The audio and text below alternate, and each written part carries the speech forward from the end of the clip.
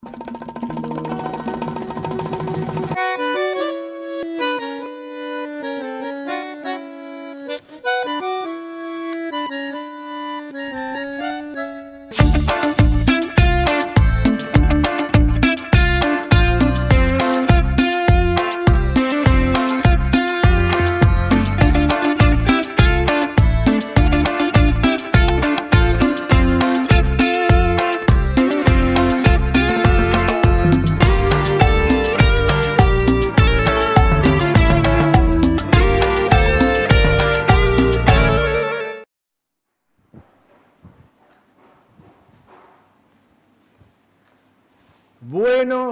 calurosos días. Que no iba a hacer calor en el verano. Bueno, acá tenés un botón de muestra de lo que se viene. Está templado el tema. Les cuento acá, ustedes saben que por las eh, normativas vigentes, la sugerencia es que no se prendan los aires acondicionados para cuidarnos del, COVID, sobre todo en lugares, es un lugar no demasiado grande, el estudio, tenemos nuestros aires acondicionados, pero no los podemos prender. Y tenemos acá adelante, para que ustedes vean, eh, con cierta calidad la imagen, tenemos que tener luces eh, importantes. Bueno, le digo, viene creciendo la temperatura a pasos agigantados, ¿eh? a pasos agigantados. Cacho Napoli, que iba a venir acá, iba a ser la apertura no pudo porque usted se está pegando una ducha en este momento, exactamente.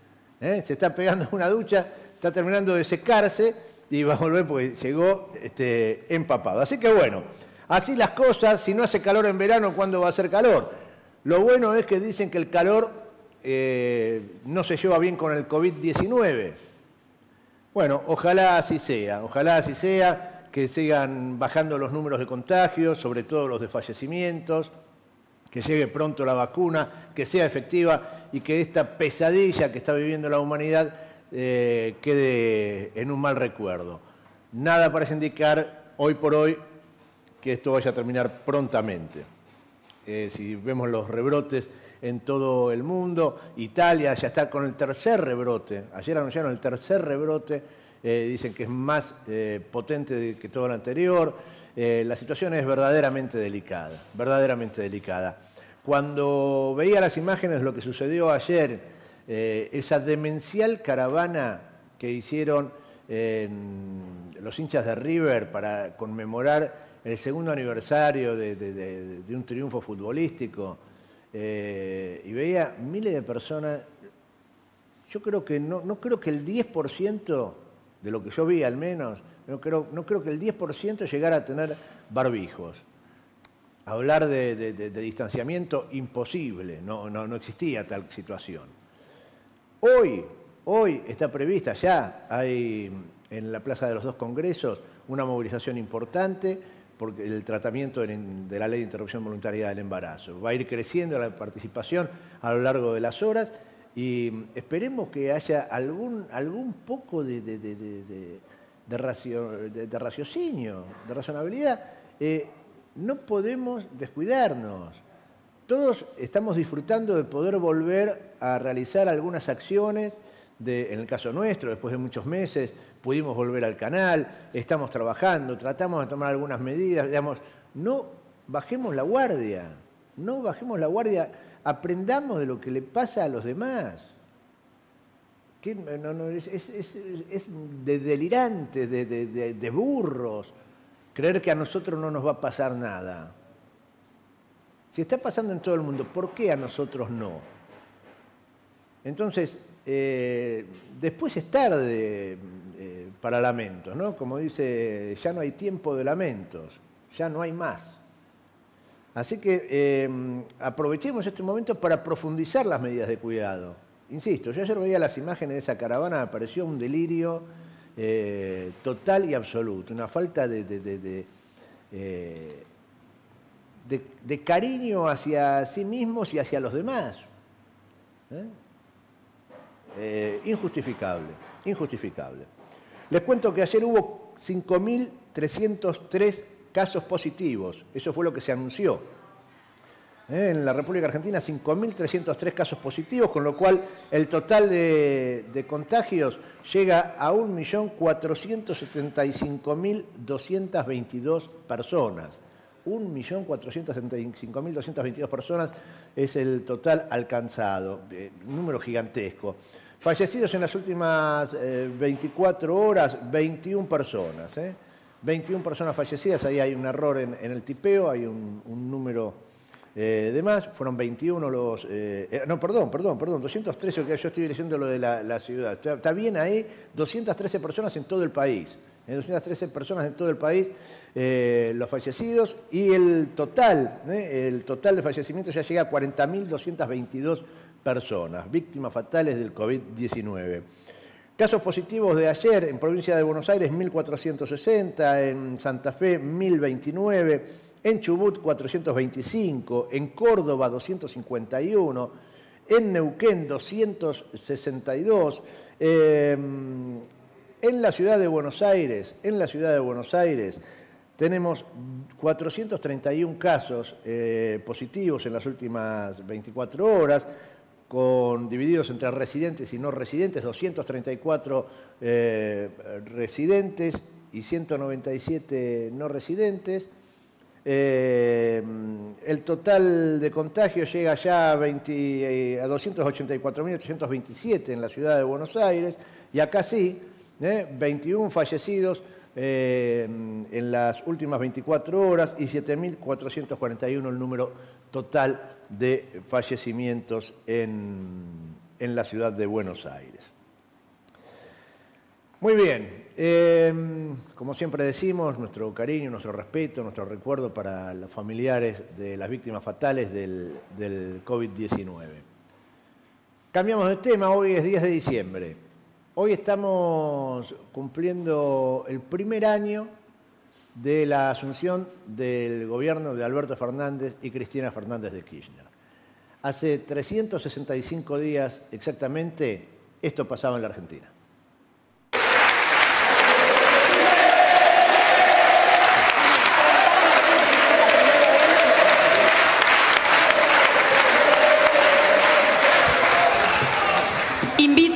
Al señor eh, presidente electo, don Alberto Ángel Fernández, a prestar su juramento. Se lo voy a dar para que él mismo lo lea.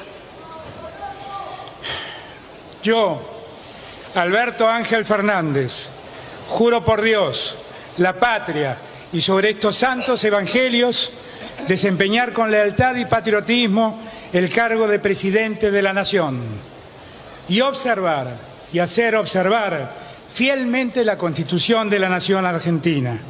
Si así no lo hiciere, Dios y la patria me lo demandan.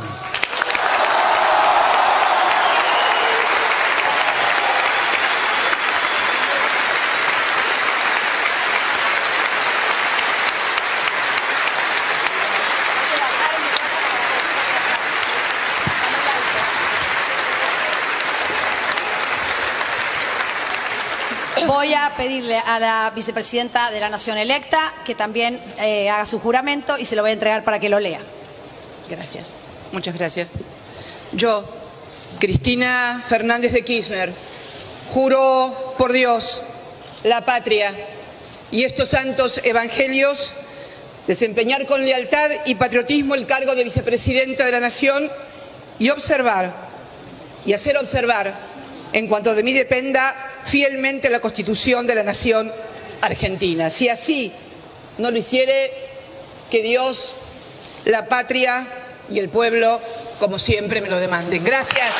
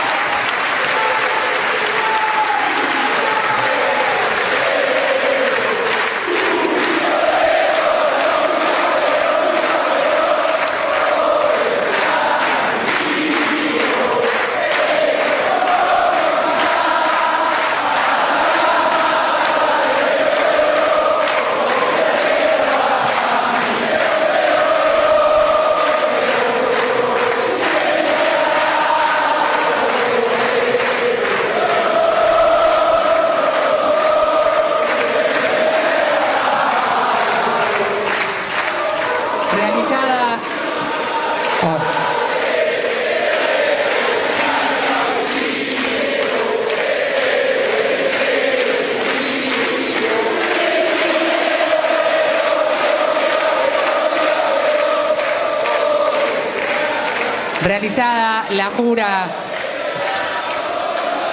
del señor presidente electo de la Unidad de los Argentinos y la vicepresidenta electa de todos los argentinos, recibiremos al presidente saliente de la Nación, el ingeniero Mauricio Macri.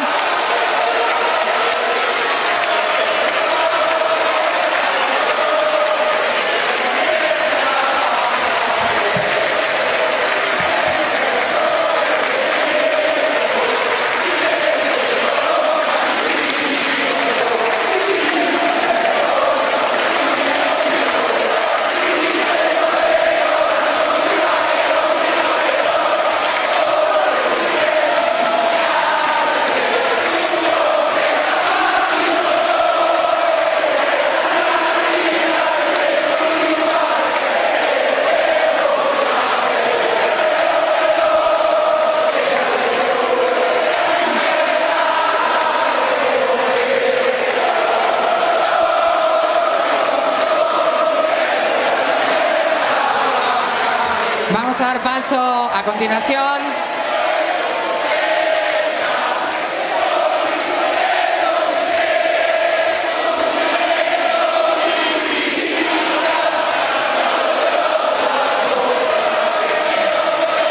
Muy bien, vamos a dar paso entonces a el traspaso de mando que realizarán a continuación el presidente saliente de la Nación, el ingeniero Mauricio Macri, junto al presidente electo de la Unidad de los Argentinos, el doctor Alberto Ángel Fernández.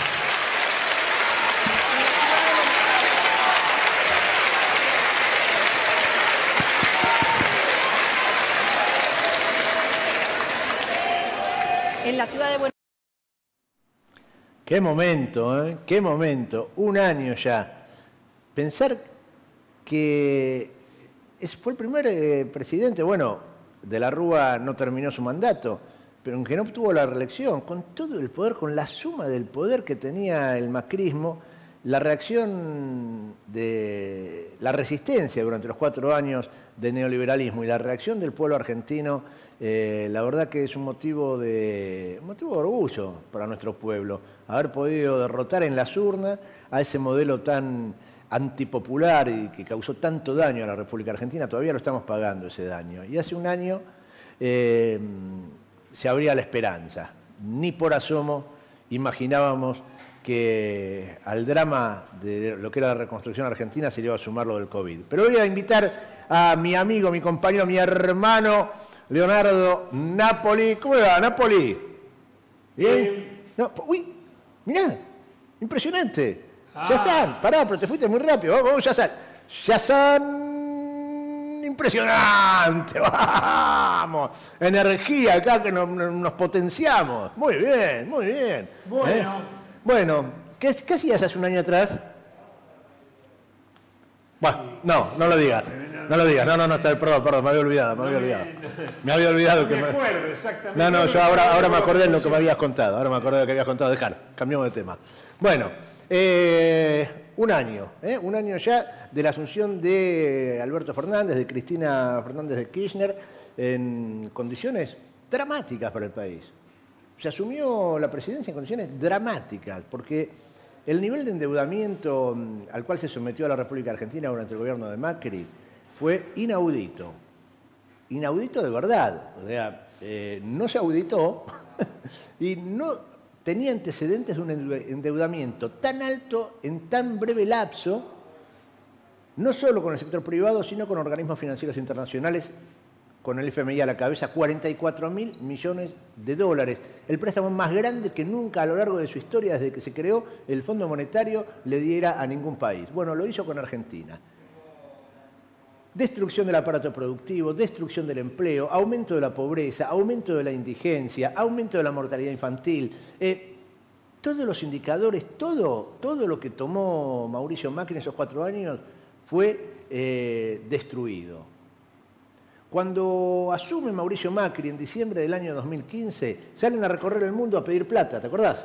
Y salieron con una carpetita bajo el brazo, en el cual llevaron los indicadores económicos de la Argentina, para contarles lo bien que estaba la República Argentina, diciendo que Argentina era un país desendeudado, con crecimiento, con potencialidad. de- bueno, todo eso después cuando venían acá y hablaban en los canales de televisión y en Clarín y en las radios, decían un desastre, la pesada herencia que nos dejó el kirchnerismo. Lo cierto es que cuando salieron a recorrer el mundo llevaron los números de verdad, porque si no nadie te presta. Y ahí llevaron los números que los organismos internacionales, que eh, los bonistas privados revisaban y decían que Argentina estaba en óptimas condiciones para aplicarle los colmillos y chuparle la sangre. Eso hizo Mauricio Macri. Y sobre esa situación se tuvo que hacer cargo una vez más, como tantas otras veces a lo largo de la historia argentina, el peronismo para conducir los destinos de la patria. Y a los tres meses, ¿eh? pandemia. Bueno, ¿eh? Ayer 10 de diciembre, eh, desde el año 83, salvo algunos periodos que fueron este, traumáticos, que fue la consecuencia del año 2001, este, se asumió la presidencia el 10 de diciembre, esto es una fecha que este, fue puesta en su momento en, la época de eh, Alfonsín, que coincidía con la, eh, la- la- el Día, El Día Internacional de los Derechos Humanos. ¿eh? Pusieron ese, fue un día sábado que sucedió eso, hace exactamente cuánto ya, Mencida, de 37 años. Sí, hubo dos momentos, ¿no? En realidad asume mm, Carlos Saúl primero Anillaco, Sí, asume eh, un 9 de julio. sí, Eh, también tuvo que adelantar la entrega porque el, el final del gobierno de Alfonsín fue eh, vertiginoso, con muchísimos problemas económicos, Sí. eh, una gran crisis social, y hubo que adelantar la entrega de- del mando. Y luego, cuando asume Néstor Kirchner, en mayo del 2003, a consecuencia de lo que señalabas vos. Y mm, ayer, 9 de diciembre, Cristina dio a conocer una carta, publicó una carta en las redes Pero sociales. perdóname, quería decir otra cosa del Ah, 10 de diciembre bueno. porque si Dale. no me, me voy a... Después no, no volvemos. Pero hubo otro 10 de diciembre que... Este, ¿Querés un café? Este, eh, bueno... eh, Sepan disculpar, ahí no, están eh, bueno, este, Bombo, está, está armando la mesa ahí, va- va- vamos a comer después. Este, eh, otro 10 de diciembre de hace hoy 75 años, en una iglesia franciscana de La Plata, se casaba quién? Juan Domingo Perón y Eva Perón, con una de, eh, una de telenovela, propio de un teleteatro. Resulta ser que después del suceso del año 45, Eva y Juan Domingo deciden casarse. Por supuesto que Juan Domingo Perón no era un hombre muy proclive a seguir, a pesar de que en su primer matrimonio sí se había casado por iglesia. Pero después, cuando él fue un hombre público, la iglesia siempre lo- no lo trató bien. Este, tuvo muchos conflictos. Los conflictos después más graves los tuvo después cuando fue presidente, pero igual, desde el comienzo no tenía muy buena relación con la iglesia. El día 29 de noviembre habían puesto la fecha para casarse la iglesia y ¿qué hizo Juan Domingo Perón? No fue, Ilcíade, la dejó Evita plantada, no fue. No fue, el día 29 no fue. Se iban a casar en una iglesia acá en la ciudad de Buenos Aires y el cura, bueno, no puso problemas porque él había estado ya casado, porque eh, por iglesias, pero resulta ser que nunca había llegado la partida de, función de la primer mujer. Bueno, una serie de cuestiones le pusieron problema y Perón dijo, mira, yo así no me voy a casar, no me caso. Yo tenía un amigo, un amigo cura, que era un curita de barrio de 27 años que era franciscano. Y era muy amigo de Perón, él le decía Pedrito, y Pedro le dijo, mira, eh, mire, coronel, usted se tiene que casar, porque usted va a ser presidente de la nación seguramente, y no se lo van a perdonar el, el hecho. Bueno, finalmente dijo, bueno, dale, pongamos una fecha, arreglarlo con Eva, pero no lo quiero hacer en Buenos Aires, no me quiero casar en, en- en la capital federal. Bueno, pim, pum, pam, arregla y se van ahí a la calle 12 entre 68 y 69, este, en la iglesia San Francisco de Asís de la ciudad de La Plata. Una parroquia, una, una- pequeña parroquia donde estuvieron cuatro o cinco amigos de Perón, la familia de Evita, y se casaron hoy, hace al mediodía, por estas horas del día eh, 10 de diciembre de 1945, se casaban por iglesia, lo habían hecho unos días antes por civil, casi un mes antes por civil, y se casaron por iglesia Juan Domingo. En, la, esa iglesia en el año 76, eh, la, digamos, durante la época de Perón, vivo Perón, fue declarada Monumento Histórico Nacional. Cuando vino los vinieron los militares, eh, por supuesto la sacaron, le, bajaron la condición de Monumento Histórico Nacional y se lo restituyó recién, recién Antonio Cafiero en 1988. Pero hubo tanta presión que se lo puso lugar histórico, no monumento, es al lugar un lugar histórico. Fíjate vos lo que estamos hablando, cuánto no pudieron lograr en la legislatura con el apoyo de, los eh, señores radicales que en ese momento este, eran muy gorilas, ¿no? Bueno, la mayoría de los que están ahora, por lo menos los sectores que acompañan a, Mauricio Macri, también lo son. Y recién, en el año 2011, 2011 la iglesia San Francisco de Asís de la ciudad de La Plata fue declarada Monumento Histórico Nacional. Tuvieron que pasar 64 años para que así fuese. Luego de este bloque de sucesos argentinos, no conocía esa anécdota. ¿Y usted ¿eh? que es nacido en La Plata no la conocía? Muy, muy, muy. No, no, no, no. La, calle 12 y 68 no la ubico yo bien. La 12 es la, de, la que viene después de la 11 y la 68 está entre la 67 y la 69. Claro. Eh, está bien. Bueno. 10 eh, de diciembre, linda anécdota, linda historia, no es una anécdota, es una, historia, ¿eh? en el momento de, de nuestra historia. La, como dijo, 68, la que viene 69, y la 12 está entre 11 y 13. exacto. Para que te ubiques. No, no me quedó claro. No, está bien, no ah, no, porque la 13 es la que entra desde la autopista, en una época yo entraba por la calle 13. Eh. Ah, ah, está un poquito, no está en el centro entonces la 12 no, la 12, la 12 no, no, no está en el... a ver, no, estás a 12 cuadras, el, centro es la 7. El centro es la 7. El centro es la 7, estás relativamente cerca, pero 68 estás lejos. Claro. 68 estás alejado. Claro. Estás alejado.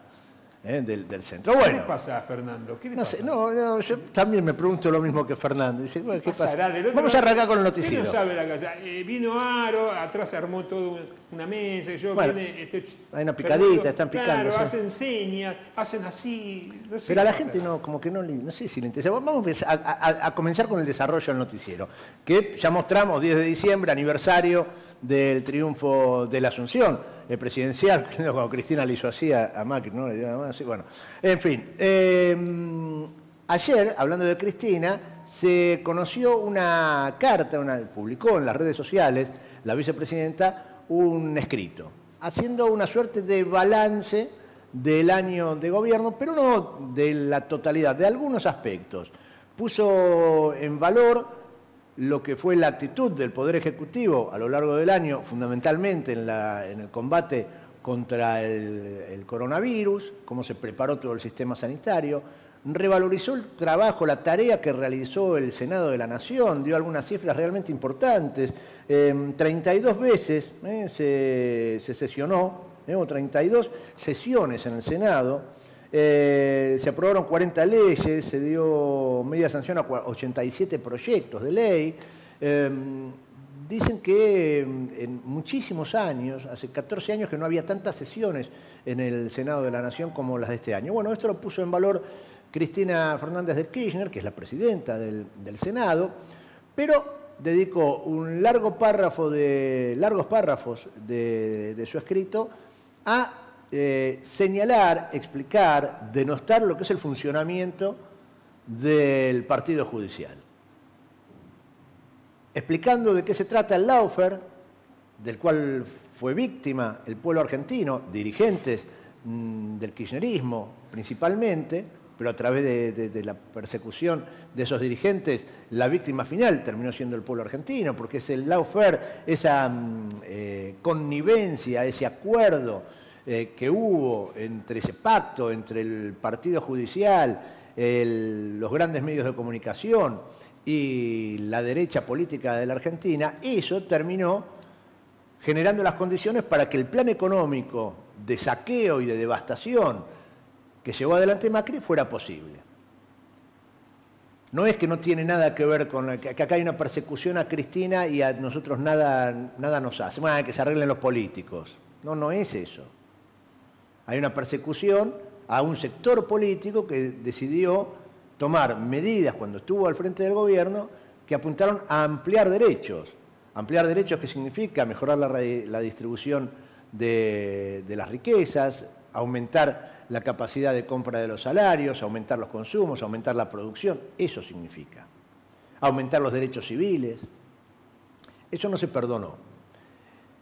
De ahí vino la persecución política y judicial. Y ayer Cristina se encargó de explicarlo una vez más y cargar las tintas sobre la Corte Suprema de Justicia de la Nación con muchísima firmeza, eh, con mucha dureza, criticando uno por uno a los integrantes de, la Corte Suprema, señalándoles a cada uno de ellos algunos de los aspectos negativos que están eh, este, impregnando su historia y su presente, y señalando que el lawfare que se aplicó durante el gobierno de Macri aún sigue vigente, aún está vigente. Algunos datos eh, llamativos. Bueno, dice mm, eh, Cristina, la articulación mediática judicial para perseguir y encarcelar opositores se desplegó en nuestro país con toda su intensidad desde la llegada de Mauricio Macri a la presidencia de la Nación y lo que es peor, aún continúa. A nadie debería extrañarle entonces no solo que el lawfare siga en su apogeo, sino que además se proteja y garantice la impunidad a los funcionarios macristas que durante su gobierno no dejaron delito por cometer. Tampoco deberíamos extrañarnos si esta Corte, que consintió alegremente el mayor endeudamiento del que se tenga memoria a escala planetaria con el Fondo Monetario Internacional, empieza a dictar fallos de neto corte económico para condicionar o extorsionar a este gobierno. De los tres poderes del Estado, solo uno no va a elecciones. Solo un poder es perpetuo. Solo un poder tiene la palabra final sobre las decisiones del Poder Ejecutivo y del Poder Legislativo. Durísima mm, carta de Cristina que, eh, por otra parte, de manera llamativa, uno podría decir, no nombra ni una sola vez a Alberto Fernández en su escrito. ¿no? No, no hace mención, habla del Poder Ejecutivo, habla del Gobierno, tampoco que desarrolla un análisis eh, sobre la totalidad de las acciones de gobierno, se limita a señalar lo que fue su accionar en el Senado y a pegarle eh, y criticar y exponer una vez más a lo que es el partido judicial y fundamentalmente la Corte Suprema de Justicia. Pero no deja de llamar la atención que una carta eh, en el aniversario de, haber asumido el gobierno no haga mención ni una vez al presidente de la Nación. Se habla del Poder Ejecutivo, pero no lo menciona Alberto. Dato eh, a tener en cuenta. Em, cambiamos de tema. Se conoció durante el fin de semana un llamado, eh, un pedido que realizó el equipo argentino de antropología forense, que es el equipo eh, de prestigio internacional, que ha desarrollado acá la técnica para el reconocimiento de los eh, restos, ¿eh? en principio vinculados a lo que había sido el terrorismo de Estado, después amplió su, tarea a otros, a otros casos, pero fundamentalmente el, EAF, ¿eh? EAF, Equipo Argentino de Antropología Forense, em, se concentra en el, tratamiento de restos y la identificación de parentescos con cuerpos que van siendo hallados. El fin de semana se publicó eh, un llamado a mm, familiares, se publicó un 0800, un número de teléfono, pidiendo que se contactaran todos aquellos que tuvieran eh, algún familiar, algún este, desaparecido durante los años del terrorismo de Estado. ¿Por qué? Porque se encontraron, escuchen esto, 600 em, cadáveres, 600 eh, cadáveres esqueletizados, por supuesto, enterrados en fosas comunes en diversos em, cementerios de la provincia de Buenos Aires, en Avellaneda, Lomas de Zamora, La Plata, General Villegas, La Matanza.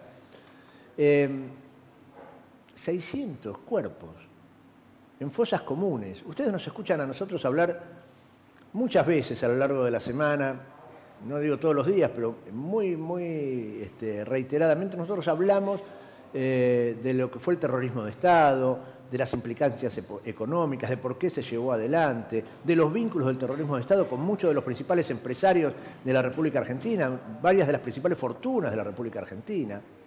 Porque estas bestias hicieron estas cosas.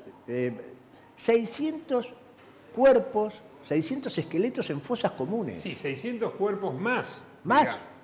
Es decir, esto mientras vos decías esto, esta mañana cuando leía el informe, pensaba que hace días nomás, eh, la señora Graciela Fernández Meijides, que hace 30 años atrás perteneció a la CONADEP, fue miembro informante de la, de la CONADEP, este, dijo que en realidad ellos siempre se han basado que lo pérfido, ¿se acuerdan que acá lo pérfido, el famoso tema, no son 30.000, haber puesto ese tipo de cuestión?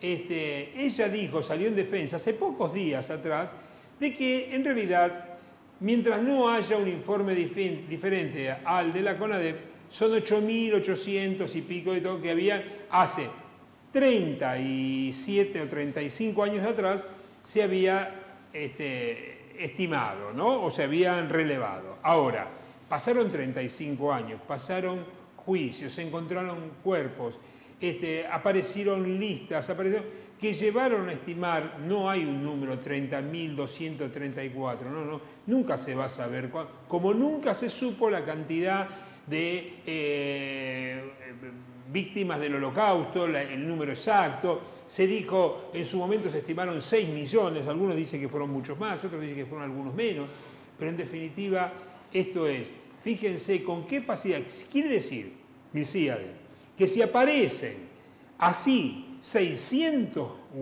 eh, restos, restos, imagínate lo que deben estar eh, eh, por ahí, digamos, ¿no? No te extrañes que un día la historia demuestre que no han sido 30, que han sido 50 o 60 mil. Eh, escalofriante. Bueno, la cuestión es que la gente del equipo argentino de antropología forense hizo esta convocatoria, eh, eh, tuvieron este hallazgo, esta cantidad de cuerpos, escalofriante, 600 restos de, personas. y pusieron un número de teléfono, el 0800 345 3236, 0800 345 3236 y ya en el fin de semana solamente se contactaron 70 familias. 70 familias se contactaron para mm, intentar aportar eh, su muestra de sangre, su muestra genética, para que puedan ser eh, compatibilizadas con eh, la de los restos hallados. Señalan desde el equipo de antropología forense que se recibieron llamados desde el Chubut, Santa Cruz, Jujuy, Salta, Río Negro, Corrientes, Chaco, Entre Ríos, Santa Fe, Tucumán, de la ciudad de Buenos Aires, de diversos lugares del país eh, se comunicaron, eh, dieron garantías de cómo es el, funcionamiento, el mecanismo, mm, el, sumo cuidado que tiene el equipo de antropología forense para ese tratamiento. Cuando alguien llama, se, reservan, se preservan los datos, no es que se divulgan, solo la persona que se acerca, eh, no se publican en ningún lado, cuando se envía la muestra se envía con un código, no con un nombre. Si hay alguna compatibilidad entre la muestra tomada y los restos, a, la primera a los primeros que se le avisan es a la, familia. Eh, digamos, hay una absoluta garantía para el funcionamiento de esta, de esta búsqueda, de esta investigación. Y es tan importante, tan trascendental que podamos seguir conociendo la verdad histórica, poniéndole nombres a esos cuerpos que siguen sin identificarse los desaparecidos, como dijo el asesino, el genocida, el miserable, Jorge Rafael Videla, que bien muerto está eh, y que se murió en una prisión, como corresponde, eh, dijo, bueno, son desaparecidos, ni muertos ni vivos, están, son desaparecidos. llenando de incertidumbre y de horror a nuestro pueblo. Todavía no nos recuperamos como sociedad de lo que hicieron esos animales. Así que bueno, esta iniciativa es realmente, mm, realmente importante. ¿eh? Recordamos el número de teléfono 0800 345 3236 de 9 a 17 horas eh, se pueden comunicar si saben de alguien, conocen, tienen un conocido, una conocida, eh, que tenga un familiar este, desaparecido. Y bueno, es importante que entre todos apoyemos esta búsqueda. Estuvo Alberto Fernández ayer, Cacho, hablando mm, del tema de las obras públicas. Sí, 1.500 obras que se pusieron casualmente no en la gestión anterior, sino este año, en la época de pandemia. En estos meses, en estos ocho meses, a los municipios les dieron, cuando comenzaron las obras que pudieron, este, para poder eh, este, hacer, este, distribuir el trabajo y distribuir el dinero, se pusieron en los municipios 1.500 obras. Ayer fueron inauguradas, y esto decía el presidente de la Nación. Hoy estamos haciendo obras en 700 municipios de de todo el país y que en los seis meses que vienen, donde nosotros en el presupuesto hemos multiplicado por dos la inversión en obra pública, vamos a estar llegando a 1.500 municipios de los, 3.000, de los 2.300 municipios que existen. Con lo cual, ese objetivo que me propuse cuando llegué al gobierno de hacer una Argentina más federal, es un objetivo que definitivamente estamos decididos a cumplir. Y es un objetivo del que no queremos claudicar. Porque lo que está claro es que lo que necesitamos es una Argentina que crezca pareja. Y para que la Argentina crezca pareja hace falta que intervengamos en todos los lugares donde debemos intervenir para garantizar que la Argentina crezca en cada uno de sus rincones. Hoy hemos visto obras que hablan mucho de la producción, del desarrollo y habla también de la calidad de vida de los argentinos. Esa bomba instalada en el arroyo del Rey, en Lomas de Zamora, del que nos hablaba Martín, es finalmente una obra que le permite a 400.000 habitantes terminar con el martirio de las inundaciones. La obra que están haciendo allí sobre a orillas del lago Nahuelhuapi, que es una planta depuradora de líquidos cloacales, que antes de que esto existiera eran líquidos que iban directamente al lago a contaminarlo, también lo que estoy viendo es que lo que estamos garantizándonos ahí no es preservar la belleza del mayor lago, del lago más hermoso que tiene la Argentina, sino también preservar el medio ambiente, cuidar sus aguas, desarrollar infraestructura para que la Argentina crezca. De eso se trata ampliar la Ruta 14, de eso se trata restaurar la Ruta 158. De eso se trata mejorar el funcionamiento, de esos 13 kilómetros de funcionamiento de la Ruta 7. Se trata de que la Argentina logre una mejor conectividad, en este caso vial, y que por esa vía se pueda llevar adelante o, sacar la producción a los puertos y a donde tienen que ir. Todos somos argentinos y todos tenemos derechos a la mejor educación, a la mejor salud, a recuperar nuestro trabajo, a crecer y desarrollarnos allí en el mismo lugar donde nacimos. Esa fue mi promesa y yo siento que la estamos cumpliendo. Sin discursos altisonantes, sin hablar de brotes verdes. Nosotros no hablamos de brotes verdes, regamos la patria todos los días. Nosotros no hablamos de segundo semestre, trabajamos en el presente todos los días. Me dijeron 5, 4, 3, 2, 1, aire, pero yo sigo teniendo calor, no sé vos. aire, aire, lo que falta. Bueno, acá estamos, acá estamos. No quiero ni pensar cómo deben estar en la plaza de los dos congresos, fundamentalmente las mujeres, ¿eh? que se están congregando, comenzaron a congregarse, tanto los que están eh, en la postura antiderechos, la postura del llamado de los pañuelos celestes, como eh, quienes están a favor de la ampliación de los derechos, de la, sanción de la interrupción voluntaria, de la ley de interrupción voluntaria del embarazo, los pañuelos verdes.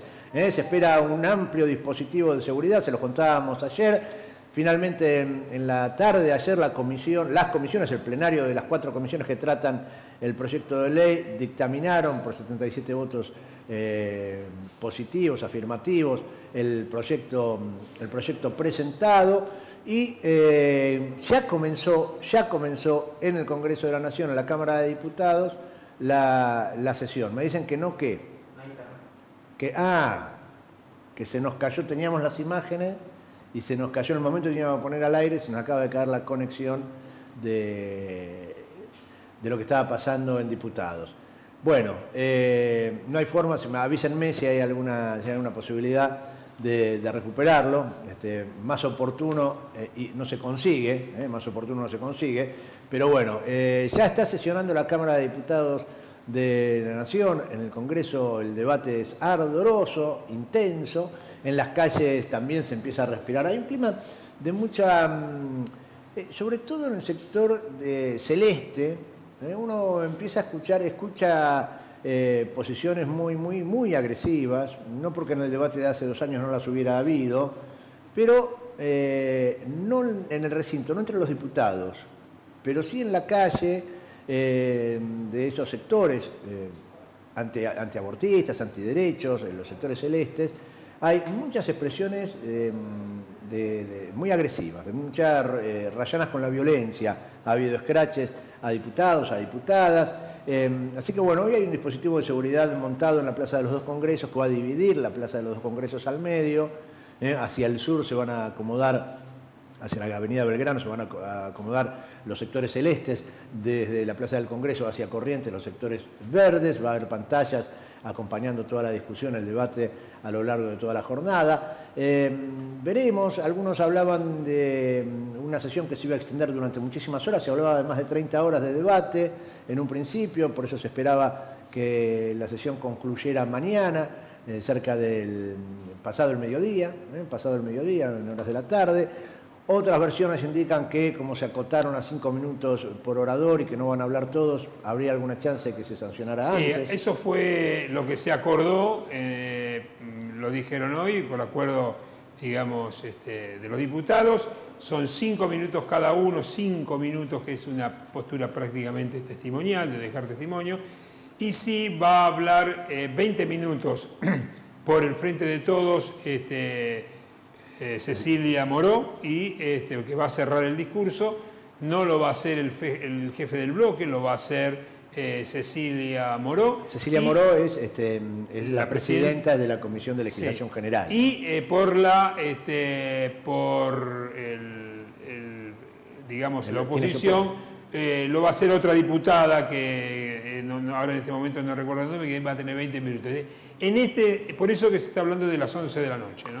O sea que el, el proyecto eh, que, que se opone a la sanción de esta ley fue firmado, encabezado por la diputada del PRO, Carmen Polledo. Sí. Eh, Carmen Polledo supo ser eh, presidenta de la legislatura de la ciudad de Buenos Aires. Carmen Polledo es la esposa de uno de los dueños de, ¿te acordás Time Warp? La discoteca donde se produjo una tragedia acá en la ciudad de Buenos Aires Ah, por la negligencia de, de sus administradores.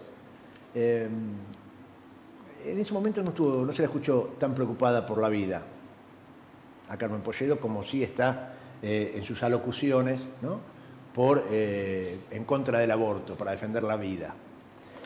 Bueno, lamentablemente no podemos mostrarles imágenes de lo que está sucediendo. Veremos si esto termina eh, hoy a la madrugada o mañana, pero eh, todo parece indicar que se van a alcanzar los votos, que estarían los votos para tener la media sanción eh, favorable a la ley de interrupción voluntaria del embarazo, que recordemos viene acompañada de otra ley, son dos leyes las que se tratan, eh, que es la ley de los mil días. sí, pero esa ley, por eso fue por eso que se calcula que va a estar, va a ser, va a ser tratada mañana esa.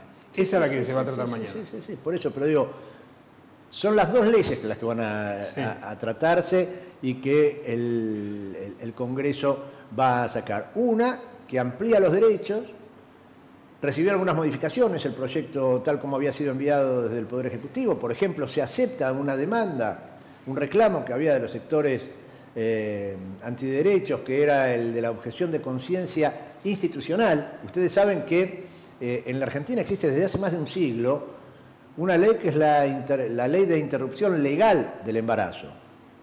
Eso está eh, desde hace más de un siglo vigente en otra Argentina, en otro mundo, en un congreso donde no había mujeres. Y eso, sin embargo, está.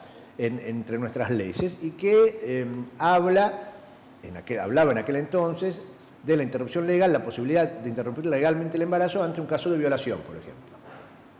Demostrado y demás. Eso luego fue recibiendo algunas modificaciones y se fue ampliando.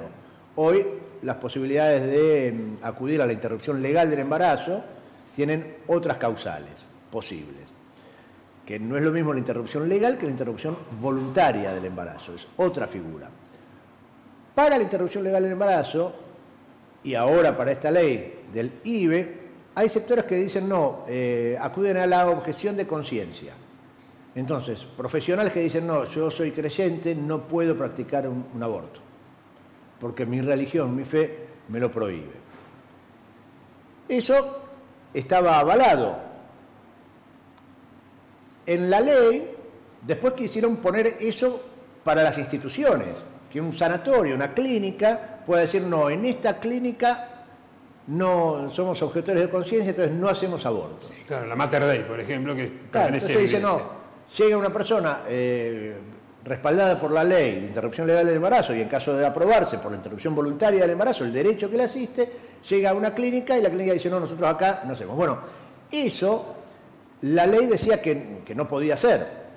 En las negociaciones de las últimas horas se modificó y se aceptó como posible, poniéndole como condición a esos establecimientos donde llega una mujer eh, a practicarse una interrupción voluntaria del embarazo y ese establecimiento dice no, acá somos objetores de conciencia, ese establecimiento tiene que garantizarle el traslado hacia un A centro costa, de, a costa de ese establecimiento. Claro, a un centro de salud donde sí le practiquen, donde sí le hagan la práctica de la interrupción del embarazo. Otra de las modificaciones que recibió el proyecto es que en el caso de las menores de 16 años, las menores de 16 años, eh, para practicar para acudir a la práctica de la interrupción voluntaria del embarazo, deben hacerlo acompañada de una persona adulta, de un mayor. Eh, Son dos modificaciones que se introdujeron y que van allanando eh, algunas discusiones y sumando más votos a la postura favorable. Así que muy probablemente esto se sancione eh, hoy, a la, a la madrugada de mañana, durante el día de mañana, y luego pasará al Senado para debatirse. Hay un tema que ya, dicen que estarían los votos asegurados. Así que ojalá que podamos avanzar en ese sentido. Eh, uno de los mayores, inclusive dentro del Frente de Todos, eh, senadores y diputados de las provincias donde más hoy este, estaría arraigado la duda, ¿no? La duda estaría fuertemente arraigada más en sectores que vienen de las provincias. Eh, bueno, hoy los cuatro, los diputados de eh, San Juan eh, dieron la afirmativa e in- in- incluye a los tres senadores, tanto de la, eh, tanto del, perdón, de los dos senadores del, del oficialismo. ¿no? Es decir, que esos votos que no se tuvieron en el Senado la última vez, se- se sospecha que ahora sí lo van a tener. Imagínate que se llegara en el Senado a una situación de empate. ¿Qué Claro. sucede? Cristina lo tiene que hacer. Tendría que desempatar la presidenta. Sí, por ahí lo llama Cobos, que está más acostumbrado. ¿Te imaginas, no? Debe decir, mire, usted- qué sé yo. ¿Te imaginas a Cristina diciendo en una situación de empate? Porque tengo ese- La, la vida le ha puesto cosas a Cristina a, este, eh, realmente de, de poder discernir ¿no? entre un tema y otro. No sería nada extraño que suceda eso, no sería nada extraño. Mi Sería, voto es no negativo. claro, aparte O sea, sería, sí. sería el- la frutilla de- del año, ¿no? Pero bueno, eso lo tendrá más adelante. Quiero decir una vez más, como tantas otras veces, Perdón, vos decís más adelante cuando la semana que viene.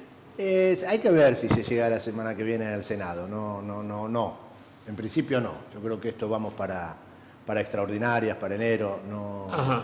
no creo que esté la semana próxima, tiene que pasar por comisión. Veremos. No, no sé cuáles son los tiempos, pero me da la impresión que no, no se llegaría este año. Ojalá que sí. Y quiero reiterar lo que hemos dicho tantas veces. Eh, cuando hablamos del apoyo que nosotros le damos a esa ley, tiene que ver con la ampliación de derechos, tiene que ver con una situación de justicia social, que mm, haya ampliación de derechos, eh, tiene que ver con la justicia social, tiene que ver con que las principales víctimas de la clandestinidad de los abortos que existen, las principales víctimas son las mujeres pobres. Y la sanción de esta ley no va en contra de las convicciones de nadie, porque a nadie que esté en contra de la práctica del aborto se la va a obligar a realizarse una interrupción voluntaria del embarazo. Ni, nadie le hará la cabeza a nadie, a ninguna mujer, diciéndole, bueno, anda, tenés que... No, lo que hay es una posibilidad, es un derecho y la posibilidad de acceder a ese derecho.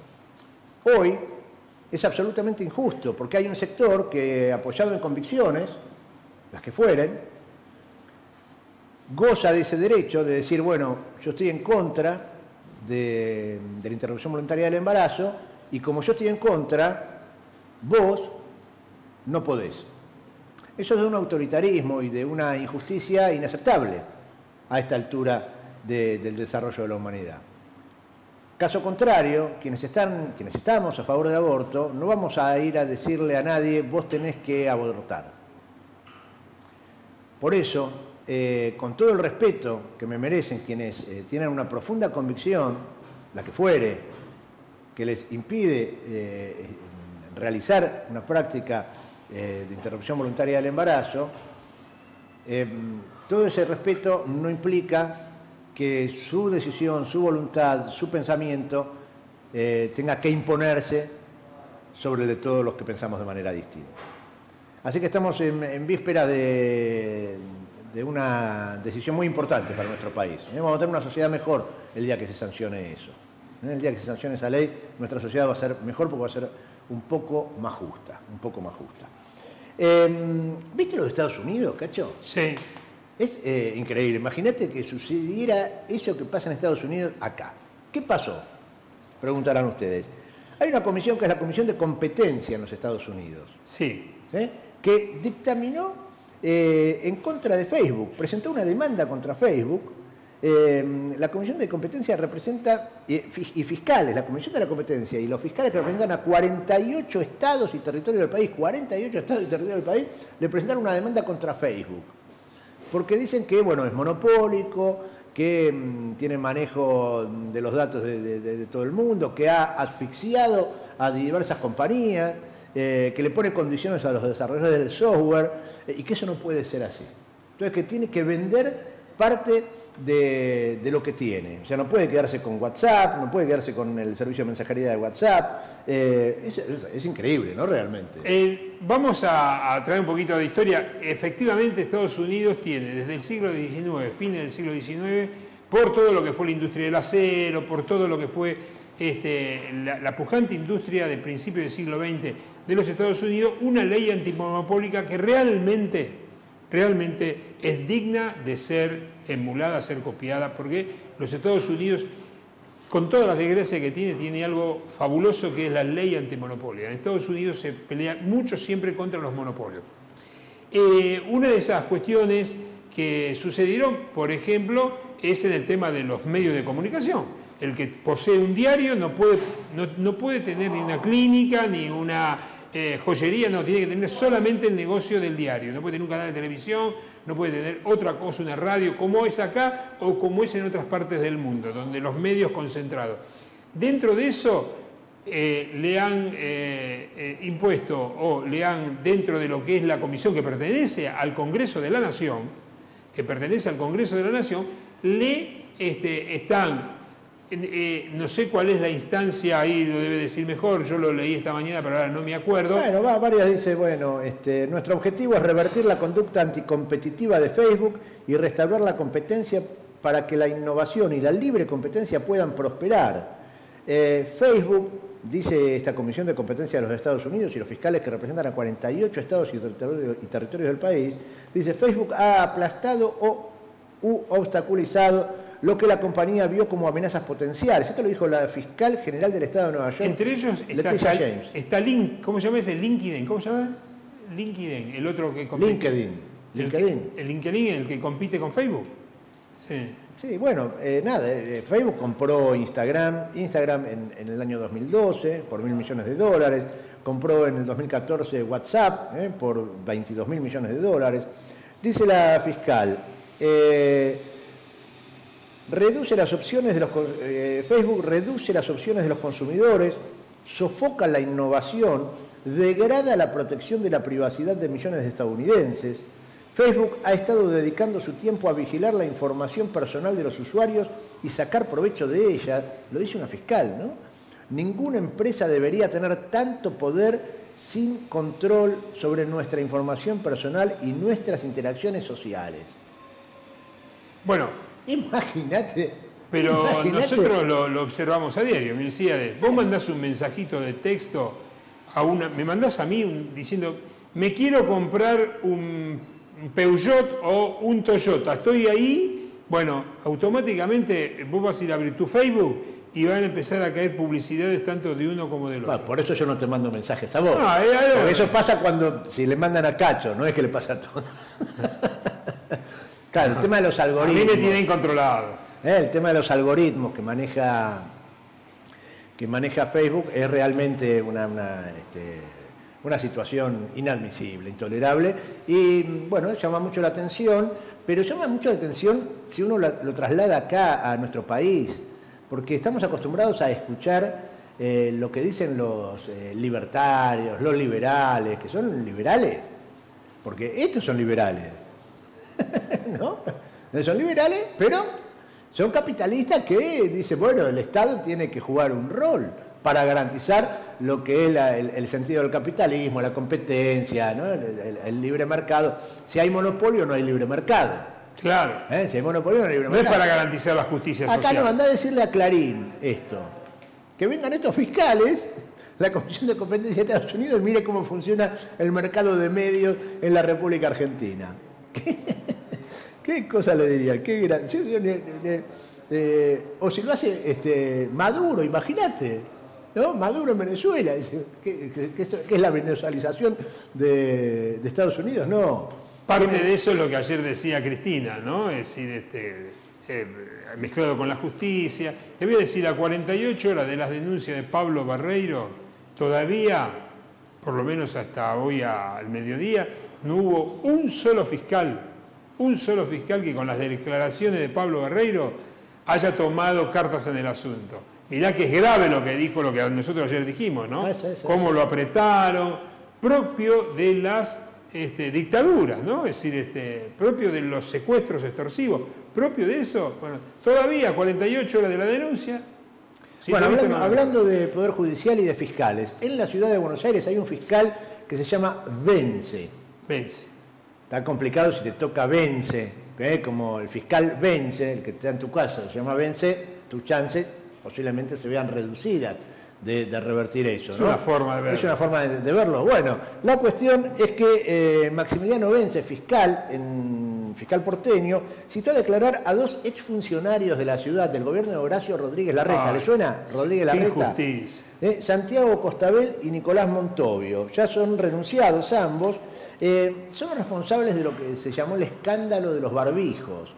El escándalo de los barbijos, que no vayan a creer que Rodríguez Larreta tuvo algo que ver con esto. No, no. A estos dos muchachos se les ocurrió, a ellos, porque sí, comprar 5 millones de barbijos, ¿no? Eh, a una compañía que no se dedicaba a vender barbijos. Eh, y que era cercana a ellos y cercana al gobierno, pero la reta no tiene nada que ver con esto, seguramente. Eh, el dueño de la empresa E-SAI, ¿eh? E-SAI, ¿eh? Leonardo Morbelli, eh, había, se lo contrató de manera sospechosa. El 30 de marzo le compró a esa firma E-SAI SRL eh, 5 millones de barbijos. Estos dos funcio- exfuncionarios, tres días después, o sea, 30 de marzo le compraron 5 millones de barbijos.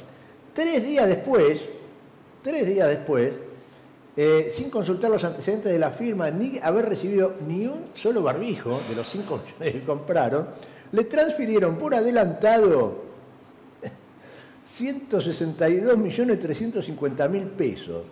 No, serán 170 millones de pesos menos los impuestos, le quedaron 162. O sea, la compra era por 340 millones de pesos.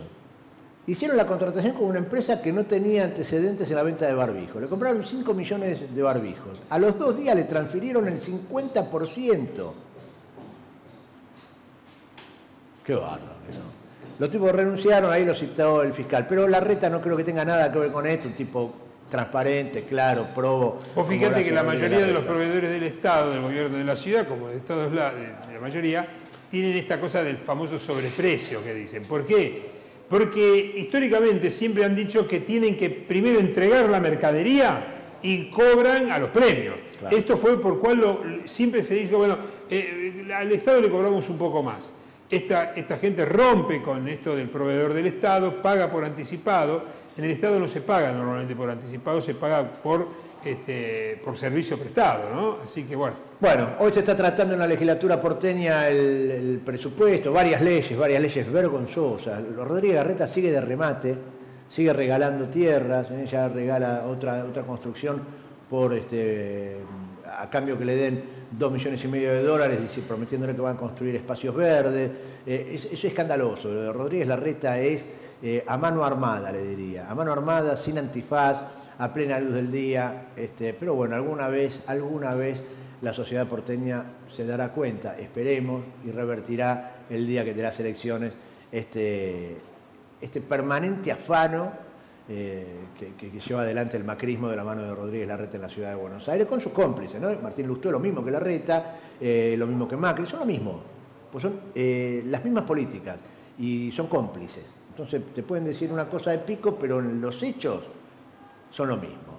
Em, el fin de semana, el fin de semana estuvimos con nuestras cámaras eh, acompañando a los bomberos voluntarios de- del barrio Padre Carlos Mujica, que estuvieron haciendo un simulacro, ¿eh? un simulacro una- como parte de su entrenamiento, y lo mostramos en esta nota.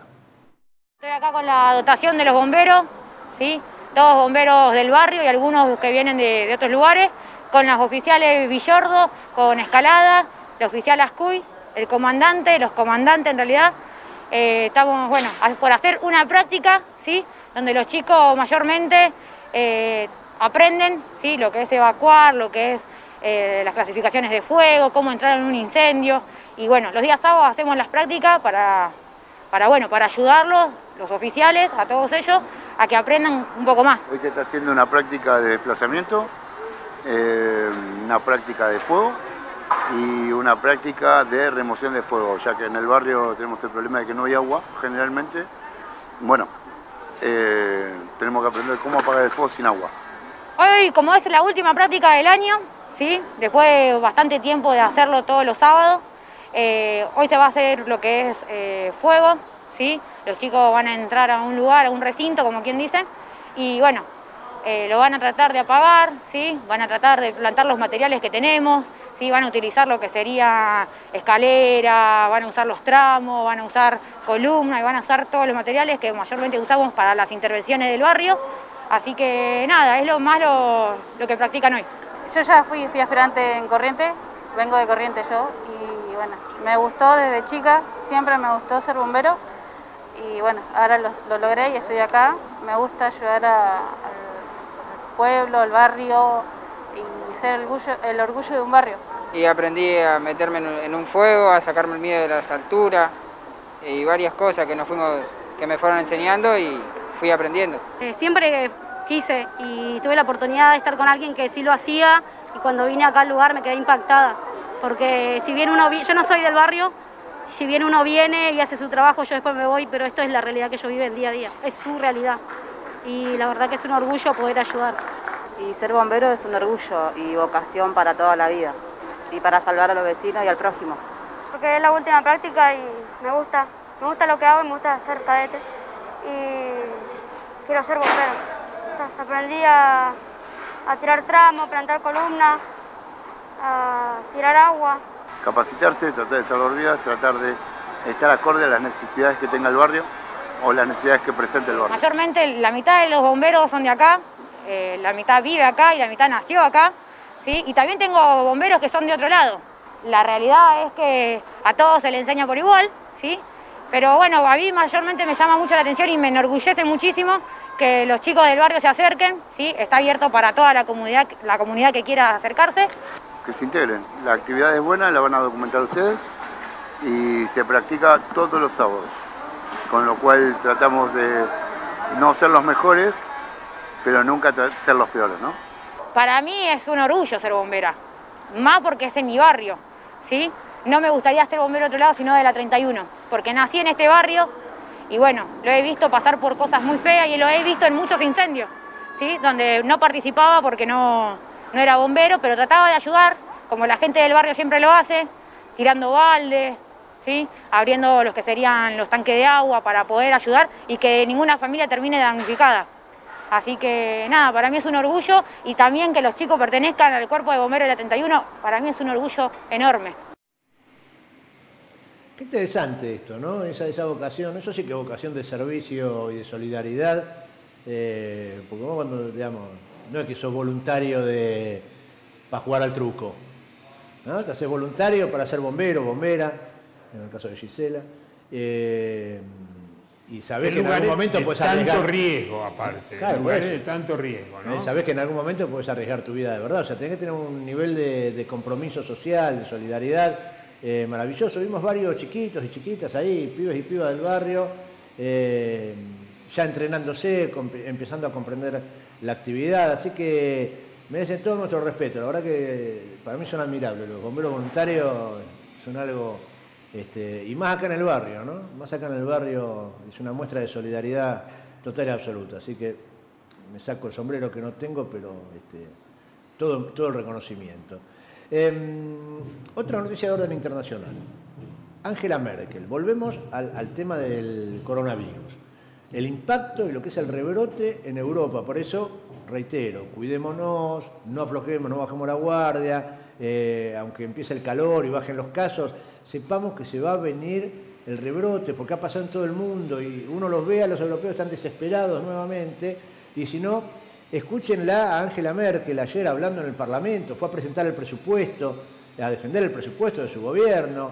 Eh, me llamó la atención verla Angela Merkel este, en este estado porque estaba conmovida, y es una mujer eh, fría, ¿no? Una mujer este, aguerrida, Angela Merkel, y hablaba de este modo en el Parlamento alemán de, de lo que el costo, lo que están pagando eh, por no, no cuidarse y el costo que está pagando la sociedad alemana eh, a manos del COVID-19. La vemos y la escuchamos. Kanzlerin Dr. Angela Merkel.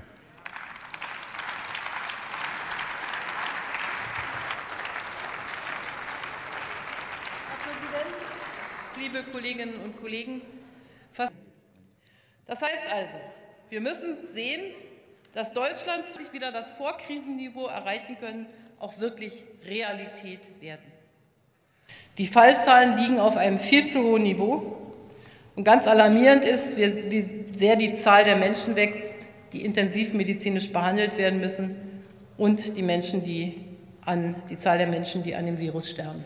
Wir haben Regelungen getroffen, dass Weihnachten, Familienfeste möglich sein sollen, aber ich appelliere an jeden, wirklich hier vorsichtig zu sein. Und ich sage es auch nochmal, ich habe es schon öffentlich gesagt, ich sage es auch hier nochmal, ich halte die Öffnung von Hotels für die Übernachtung von Verwandten für falsch, weil sie wieder Anreize schafft, die vielleicht nicht notwendig sind. Aber das ist jetzt mal etwas, was wir nicht mehr überwinden werden. Ich halte es auch für richtig, die Schulen in dieser Zeit entweder durch Verlängerung der Ferien zu schließen bis zum 10. Januar oder aber Digitalunterricht zu machen oder was auch immer. Das ist egal. Wir brauchen aber Kontaktreduzierung. Und so hart das ist, und ich weiß, wie viel Liebe dahinter steckt, wenn Glühweinstände aufgebaut werden, wenn Waffelbäckereien aufgebaut werden, es verträgt sich nicht mit der mit dem Vereinbarung, dass wir zum Beispiel Essen und Verzehr nur zum Mitnehmen nach Hause wirklich vereinbart haben. Es tut mir leid, aber es, es, es tut mir wirklich im Herzen leid. Aber wenn wir dafür den Preis zahlen, dass wir Todeszahlen von Tag am Tag 590 Menschen haben, dann ist das nicht äh, akzeptabel aus meiner Sicht. Así están las cosas en el mundo con el COVID-19. Esta, nos tocó bailar con esta. Missy, te tengo que decir una cosa. Eh, ayer eh, también estábamos viendo, eh, esto va a ser una información de mañana, porque hoy estaba solamente el título y va a estar ampliado mañana, la terrible situación que se está pasando en Asunción del Paraguay. En este momento es el pico. ¿Te acordás que decían, eh, bueno, en Asunción del Paraguay, en Paraguay está todo como cercado, ¿no? Bueno, no, entró, hay lista de espera para poder ingresar a los hospitales públicos y privados. Eh, hay algunas coberturas de gente de dinero, que son los muy pocos, que estarían solicitando a través de sus eh, eh, obras sociales poder viajar a misiones para ser atendidos en misiones. Este, pero realmente la situación en el Paraguay se está tornando cada día más difícil. Mañana vamos a tener un informe que este, estuve hoy, no estaba completo, estaba en preparación este informe, pero mañana seguramente lo vamos a tener. Bueno, vamos a hablar unos minutitos del barrio, del barrio Padre Carlos Mujica. Y vamos a hablar de mm, lo que quiere hacer Diego Fernández, la falta de respeto eh, que está cometiendo Diego Fernández con eh, las vecinas, los vecinos de la Villa 31, mm, el intento de concretar eh, una ilegalidad en el marco del proceso de reurbanización del barrio Padre Carlos Mujica. Nosotros denunciamos acá en Urbana TV, eh, en nuestro noticiero, detectamos una información en una reunión del Consejo de Gestión Participativa cuando Diego Fernández habló de los postes de luz. Se le escapó. Creyó que iba a pasar, que nadie se iba a enterar, nadie le iba a dar bolilla y que él iba a seguir adelante. Estamos hablando, les recuerdo, por si a alguien se le escapa de, la memoria, eh, el proceso de reurbanización del barrio Padre Carlos Mujica eh, dispuso en una primera instancia de 300 millones de dólares para ser concretado y se le han sumado varias decenas de millones de dólares más. Con lo cual, eh, muchas veces, Horacio Rodríguez Larreta, el propio Diego Fernández, en, foros internacionales, eh, hablaban de un proceso de reurbanización modelo, ejemplar, el mejor. Dijo sin ponerse colorado, Diego Fernández, eh, ante las cámaras de diversos medios, ante los diputados y diputadas de la ciudad de Buenos Aires, que el barrio Padre Carlos Mujica iba a tener la mejor infraestructura del país. Eso dijo que el barrio Padre Carlos Mujica iba a tener la mejor infraestructura del país. Claro, después vino el COVID, después vino la pandemia y nos enteramos que no habían hecho las conexiones de agua y que por la falta de esas obras murieron decenas de vecinos y vecinas en este barrio. Hubo mucho dolor en la Villa 31 a causa de las obras que no se hicieron, ni en tiempo ni en forma. Y con el correr de, los días, de las semanas, eh, apareció esta información. La idea de Diego Fernández de hacer la instalación eléctrica de este barrio con postes, llevar el tendido de cables de manera aérea. Y eso es ilegal. Eso es ilegal en la ciudad autónoma de Buenos Aires, que es donde vivimos, que es donde está este barrio. Y como no le encontraban el agujero al mate, intentaron algunas maniobras de distracción, ponen otros temas, quieren desviar la discusión. Diego Fernández dejó de, ir en algunas ocasiones a las reuniones del CGP, dijo que, participaban funcionarios del Ente Nacional de Regulación Energética, que no, no, participaron. En otra sesión dijo que mm, iban a estar los funcionarios, los eh, empleados, los profesionales de las empresas energéticas de Nor y de Sur, eh, participaron en algún momento hace unos meses, no abrieron la boca, pero finalmente, la semana pasada, la semana anterior, la última reunión del CGP, sí, un integrante de Denor habló en la reunión a través de Zoom y dijo cosas desopilantes, verdaderamente desopilantes, que ratifican que la intención de la empresa es que el tendido eléctrico sea aéreo, vale decir, sea ilegal, sea el único barrio en la ciudad de Buenos Aires que no respete la ley de la ciudad de Buenos Aires, ni las normas del Ente Nacional de Regulación Energética. Pero los invito a que escuchemos a este hombre de la empresa Edenor hablando en el Consejo de Gestión Participativa, algunos tramos de su intervención. Vamos con el... Y nosotros ponemos un modelo este, de una columna que, liviana, este, de, una estructura este, no muy pesada, en el cual tiene como una, una mensa, una, percha, podríamos decir, para, para soportar el resto de los servicios y, ordenar y, tener este, con, mucha claridad cuál es, cuál es un servicio y cuál es el, otro y poderlo distinguir fácilmente porque... Este... En este corte el audio no era muy bueno, pero yo quería que lo vieran porque ahí estaba mm, el croquis, el dibujo eh, de cómo serían los postes de luz. ¿sí? Postes de luz. Quieren poner postes de luz en el barrio Padre Carlos Mujica. Ahí lo ven. Eso es lo que quiere hacer Diego Fernández, que cobró, que proyectó la instalación de caños. Están los dibujos de cómo irían los caños, subterráneos, por supuesto, eh, y que pidió recursos para eso. Cientos de millones de dólares. ¿Dónde están? ¿O dónde están los caños? Pero luego siguió hablando este empleado de la empresa energética y decía lo siguiente. Eh, nosotros, este, con la ciudad de Buenos Aires, y ustedes lo vieron, en todo el barrio IPF, la red subterránea y se pudo desarrollar este, normalmente la red subterránea como, como está prevista o como alguna reglamentación, ordenanza así lo pide en la ciudad de Buenos Aires lo que nosotros vemos como, como, empresa distribuidora de energía, en el cual vamos a hacer el tendido de las redes, y luego vamos a tener que hacer la operación, el mantenimiento de esas redes, el día que haya una falla o lo que fuere, este, nosotros creemos que, esa, que no es posible hacer una instalación en, el lugar, este, en lugares que con red subterránea, sino que por eso proponemos la red aérea. La única forma que nosotros sabemos que podemos garantizar las medidas de seguridad y podemos operar y podemos mantener la red eléctrica en condiciones para que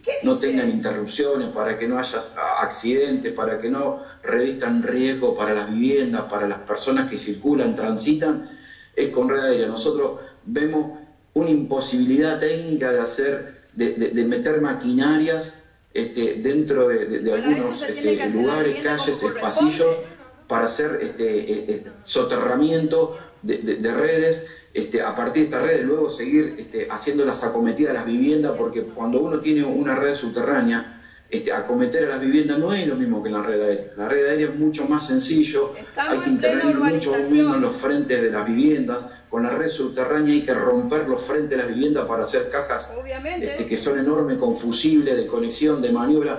Es, es muy complejo hacerlo.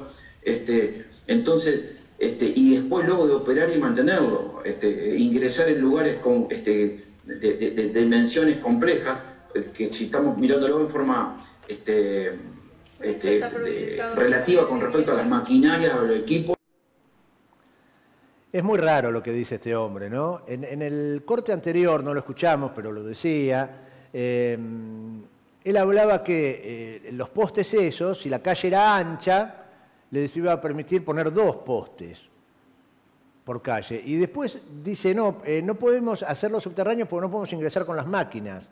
O sea, la apertura de las calles está mal. Después dice, hay que poner el gabinete para la instalación y eso hay que romper el frente. Sí, claro, hay que hacer todo eso, como cualquier barrio de la ciudad, como cualquier barrio de la ciudad, efectivamente. Es muy difícil hacerlo. Y habla de la seguridad. Es increíble. Hace mención a la seguridad, dice, de manera aérea es más seguro, porque si hay que hacer alguna intervención, en cambio abajo no tenemos lugar. Em, ¿Cómo va a ser más seguro un cable colgando eh, frente a la ventana de un vecino, de una vecina? que de manera subterránea. ¿Qué dirán los trabajadores del sindicato de Luz y Fuerza que tienen que treparse a los caños a hacer los arreglos? ¿Seguro que creen que eh, es mejor estar trepado en un caño que estar en una cámara abajo? Me parece que no.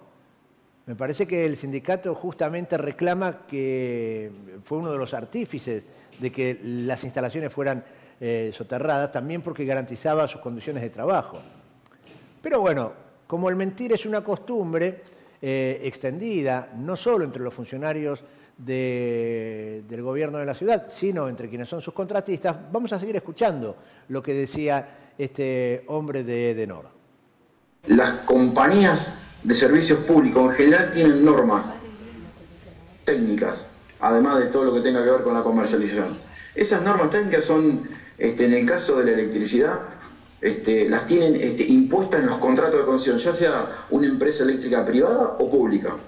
Y generalmente en Argentina tenemos un- un- una asociación, este, que es la EA, la Asociación de Electrotecnia, Electrotécnica Argentina, que ahí están todas las reglamentaciones de cómo se hacen todas las redes. Las distancias eléctricas, las dimensiones de los postes, de los cables, eh, eh, cómo se calcula. Ahí está todo normado. En la obligación que tiene Denor es cumplir esa normativa, no otra. Lo que hay es una, una normativa, en el caso de, lo que se cita de los subterráneos, es que la ciudad de Buenos Aires dijo, bueno, a mí yo quiero que en la ciudad haya redes subterráneas.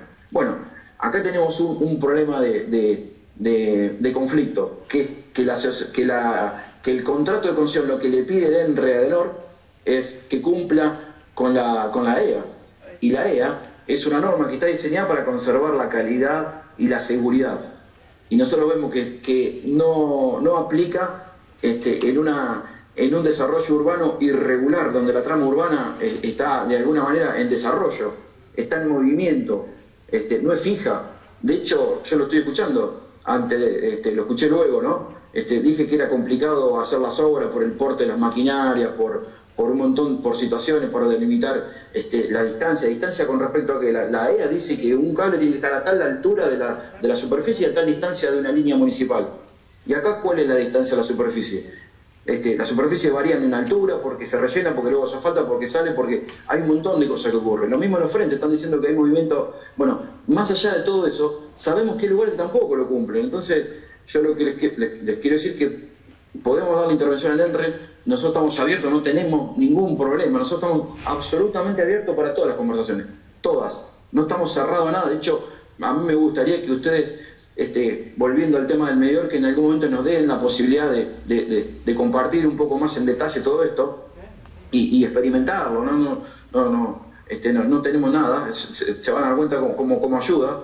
Este, pero bueno, volviendo a la normativa, el ENRE este, se puede pedir respecto si es subterráneo. Digo, este, lo podría hacer si quiere. No sé si es competencia, porque lo que muy claramente lo- lo- se lo puso en, en el contrato de concesión de honor. Este, ENRE va, a- dirimir obviamente en una situación de conflicto, claro que sí.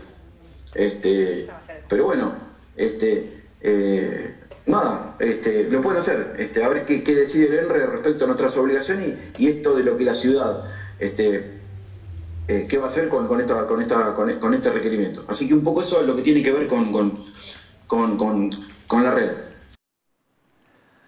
Es muy llamativo ¿no? lo que dice este técnico de Edenor, convocado por Diego Fernández. Entonces dice, claro, pero ¿cómo vamos a hacer las cosas? Bien si esto es irregular, está en movimiento este barrio. Bueno, pero ¿saben qué pasa? Que ustedes ya, este barrio que todavía no está urbanizado, ya le quieren empezar a cobrar a los vecinos. Entonces ponen sobre la mesa de debate si le van a cobrar, si va a ser prepago, si no va a ser prepago. Primero garanticen el servicio acorde a la ley. Y otra cosa interesante es que este hombre dice, bueno, Edenor está en la Asociación Electrotécnica Argentina. Ahí es donde están todas las leyes, todas las normas, y ahí dicen que los barrios irregulares... No, no, no. La Asociación Electrotécnica Argentina reúne a los privados, al sector privado de los prestadores de servicios eléctricos. Las normas no las fijan las empresas. Las normas, las leyes, las fijan los estados, las fijan los parlamentos, las aplican los poderes ejecutivos y el Poder Judicial garantiza que eso se cumpla. No lo hace AEA. Entonces, bueno, ENRE puede decir lo que quiera, pero no dice que hagamos como AEA. No, no. La ciudad de Buenos Aires es una- una ciudad autónoma, autónoma, que tiene sus leyes. Y dentro de esas leyes dice que no puede haber cableado aéreo. Eh, no es muy difícil de entender, Diego. La ley en la ciudad de Buenos Aires dice que no puede haber cableado aéreo. Y este barrio es un barrio de la ciudad de Buenos Aires. A menos que piensen otra cosa. A menos que crean que es una isla, que es otra cosa, que como va a ser en su sueño está el desarrollo, el desarrollo inmobiliario futuro, echar a todos los vecinos y las vecinas de este barrio, que quede lo menos posible, entonces le hacemos edificios de chapa y durlock para que se puedan desmontar eh, fácil y le ponemos poste de luz para que también se puedan desmontar fácil el día que vengamos con la topadora. A menos que piensen eso, hagan lo que tienen que hacer, que es lo que dice la ley, no lo que a ustedes se les ocurre. Escuchemos un poquito más de este funcionario. Ya las redes que van a, estar este, en las calles, en los pasillos, van a ser de Denor. Por eso nosotros estamos diciendo esto de, de si subterránea sí, subterránea no, aéreo sí, aéreo no, poste no poste. Entonces, ¿por qué? Porque vamos a ampliar nuestra responsabilidad.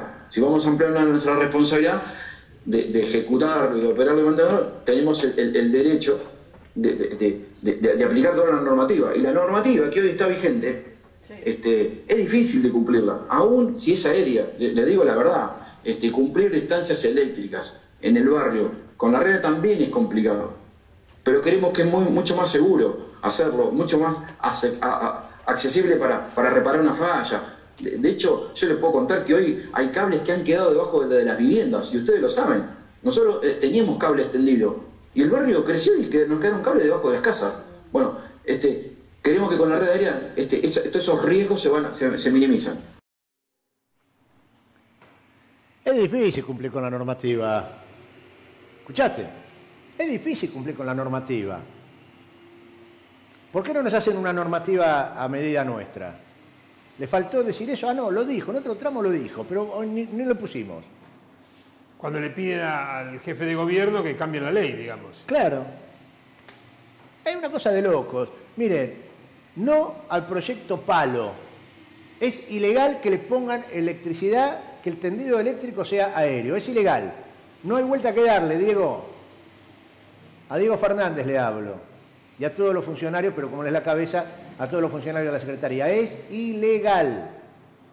No pueden poner electricidad de manera aérea. Si no, van a tener que modificar la ley. Les sobran los votos, háganlo. Háganlo y veremos si lo judicializamos como corresponde. Lo que quieren hacer es ilegal. Si Edenor no está en condiciones de cumplir con las leyes de la Ciudad Autónoma de Buenos Aires, habrá que buscar otro, otro prestador. Y lo que seguro no se puede hacer es discutir ni un minuto de cómo le van a cobrar a la gente.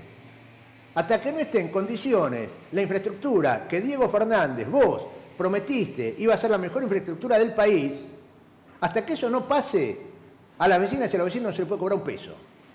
Ni hablar de eso, ni hablar. Muy bien. Nos vamos. Hasta mañana Ahí voy a, está, sí, a conducir- señor. Muy bien, a- a, conducir el. Mañana no venís.